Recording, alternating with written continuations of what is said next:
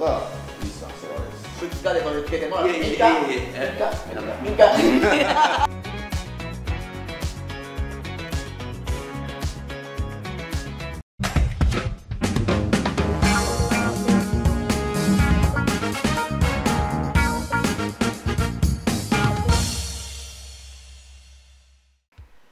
はいということでなんとリギングが完了しました。いやいやいやいやいやいや。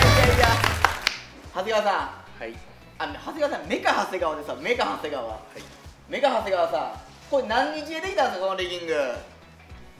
まあ日数で言ったら2日。日数だよ。2日ですよ皆さん。2日。あの、まあ、僕が知ってるバスボートのリギングって大体1か月以上かかってるからっていう感じなんですけどさすがそこはメカ長谷川ということで、はい、あのめちゃくちゃ残業していただいたみたいで、はい目も真っ赤かなってありますね、はい、お疲れ、もうお疲れのところすいません、本当に。もう大変でした。もう終わるかどうかドキドキやったんで。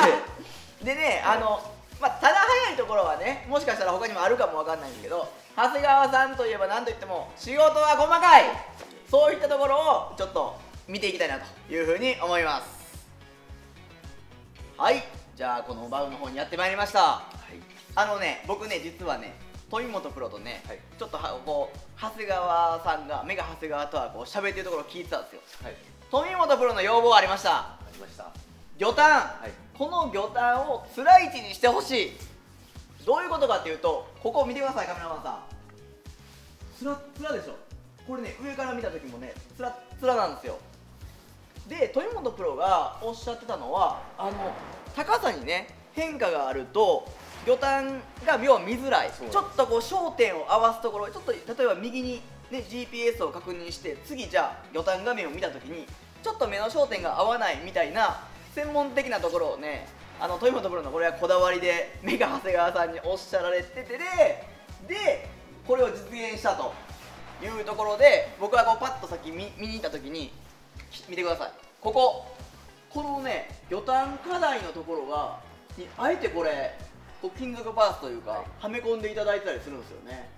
これで高さを要は統一したりとかってういうのをしてるというところでここ釣り人的にはめちゃくちゃ助かるところですね。そうですね。カメラマンさんちょっと見に来てくださいこれ。これやってるところ俺見たことないよ。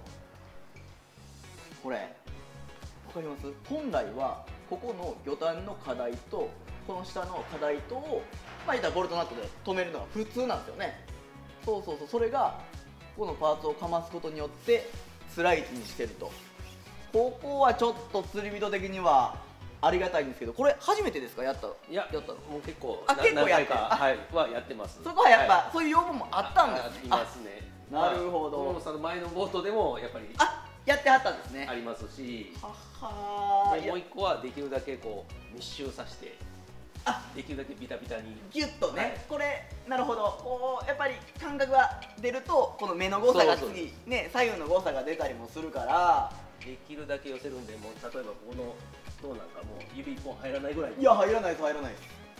まあこの辺は正直なかなかねこれ伝えてもまあねできるところとできないところの差も出ちゃうと思うんでそこはやっぱりメカ長谷川ならではの技術が集約されたところかなとありがとうございます いうふうに思います。はい。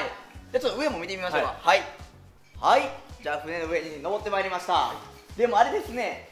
これ前はね魚探下に下にっていうか適当にこう置いただけやったじゃないですか。はいこれ魚探つけたらめっちゃ迫力ありますね。雰囲気がだいぶ変わりますね7台ですよ皆さん7台はいでちょっと僕パッと登って思ったのはこれコンソール。これねダブルコンソールで来てたでしょ？これがなんとカメラマンさん。ちょ見て。あほらもう。もう下に置いてあるから。これ。これあれなんですよね。豊本プロのこだわりなんですよね。そうですね。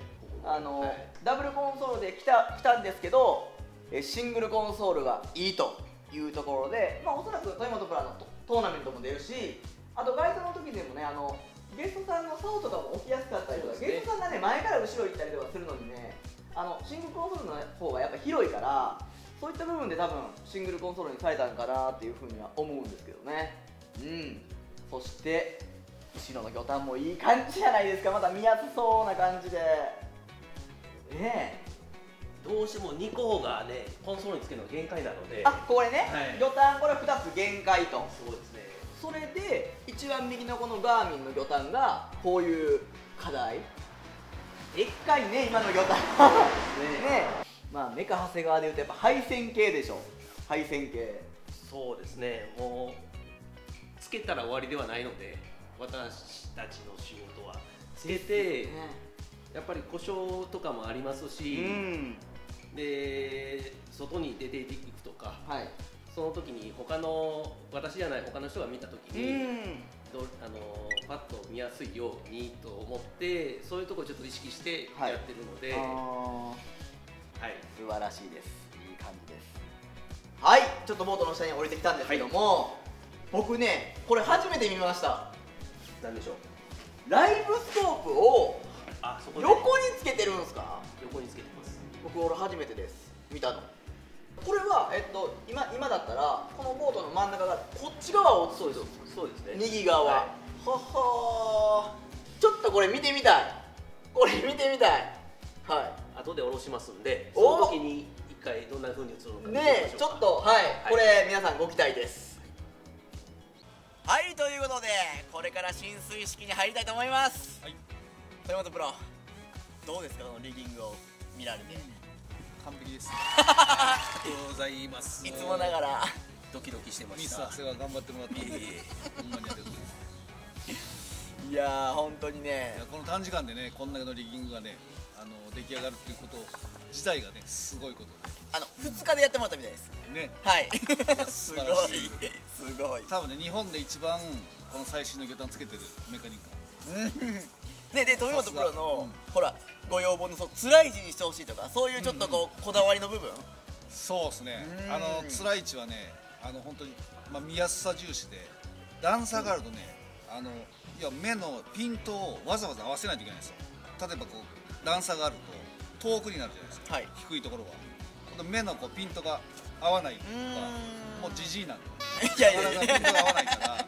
辛い位置だともうすぐにこう目線を動かすだけでピントが合うんで、はい。そこがすごいまあ僕のこだわりっていうかどうしても辛い位置にしたい理由。はい、うんうん、だから僕は辛い位置っていうのをちょっとまあわがまま言っておお実践も完璧にいや辛い位置にしてすごいいただきました。な。いやいやちょっとねボート上で見てみたいですねその映像とかもね。ね。はい。ということであのいつもねあの新艇を下ろされた方には88バスボックスさんでは、うん。シャンパンみたいなんですよ。はい。ただ今回はなんとトヨタプロ特別にじゃーん和風。ジャパニーズ。日本そうジャパニーズお酒。日本酒ということで。塩。で。はい。塩清めと、はい。ということでまずこの豊本プロに清めていただこうかなと。はい。はい。思いますんで贈呈させていただきます。ありがとうございます。はい。すごいやおめでとうございますっともう答えいいっす じゃあまず塩から。塩から。はい。行きましょう。昭和の人間はね塩なんですよ。この瞬間がいいですね。そしてそして。そしてそして。いや。じゃあ清めていただきましょう。清めていただきます。め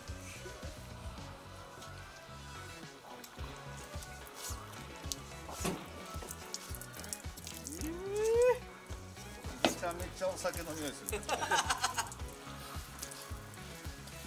りがとうございます。はいおめでとうございます。素晴らしい。無事を祈ってこれでもう無事故ですね。無事故祈願まずまずあちゃんと動くかどうかぶつけ本本番なので、はい。はい。そこは一番ドキドキです。いやいやいや、じゃあちょっと下ろして。乗ってみましょうか。乗ってみましょうか、はい。はい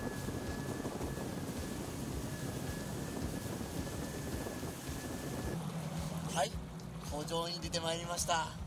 豊本プロ、えっとさっきねメカ長谷川さんに、えーリアにライブスコープをこの船つけてますと。いうふうに、えーおっしゃっていただいたんですけども、豊本プロにはこのリアライブスコープの有効性っていうのをちょっと語っていただきたいなと思いまして。ポジションがめっちゃわかる。んですあなるほど。これもうですよね。これウィドはいで例えば上に浮いてる下にはいあのすごい分かりやすい、はいまあもちろんフロントでエレキを下ろせば見えるんですけど僕はこのアイドリングで魚探しながらサイドイメージ見ながらライブスコープを見ながらもう、えーこの画像を重ね合わせながら魚のポジションを把握していくのではいこのライブスコープはめちゃめちゃ便利う魚のポジションが分かる魚のポジションですね。ポジション。これ今、えっとこのボートを真正面に右側がこれ見えてるってこと？そうこっち側こっち側、左側は全く見えてない。んですよね左側見えてない。見えてない、で大体30メーターぐらいを見てるっていうイメージ。そうですね30メーター。あーなるほど。これねダイブスコープ見てはったら、これ同じような今ね例えばクイドパッチみたいなこう点々とあるわけじゃないですか。はい一角にだけめちゃくちゃ魚溜まってるとかそういうのも見えたりするんですか？見えちゃう見えちゃうね見えちゃうよ。はい。まあでもそういうことですよね。うん。ここどうかなっていうところを一回パッて見てそうそうそうそう。さらっと見てあこれちょっと違うなと思ったらもうエレキ上げずにあエレキとか下ろさずにもそのままブワッと走って次の場所に次の展開に移行すると。いやこれはちょっとあかんね。見てたら星なるやつですね。これね。釣り人としてはね。はいということで、えー完成したファルコン F21TE を乗,、はい。乗りましたけども豊本プロどうでした？やっぱ進呈はいいね。よかった。いい匂いもしました。新定の匂いしましたよ。本当に。新しい全てが。はい。で豊本プロにはねちょっとあのリアのライブスコープの有効性とか、ね、そういったものも教えていただいていやよかったなっていう感じだったんですけど。ね、まあいい感じですね。はい。全てにおいて。全てにおいて。はい。ですね。でここから次はラッピングに移るということですね。そうですね。うん。うん。でその模様もまたこのチャンネルでは撮っていこうかなと思いますしそしてまあね3月の11日12日はい。は、えっと、名古屋の、えーキープキャストうん。の、えー、木坂ムータブースでなんとそのラッピングした豊本プロのバスボードが見れると。展示します。展示します。はい。ということで、ぜひぜひねその前で写真撮りたいなとかも行きますもんねぜひいけい。けって感じ来てください。はい、来ていただければ、うん。えー迫力のあるバスボードがまた見れるんじゃないかなはいというふうに思うので、うん。はい。またよろしくお願いします。お願いします。ありがとうございました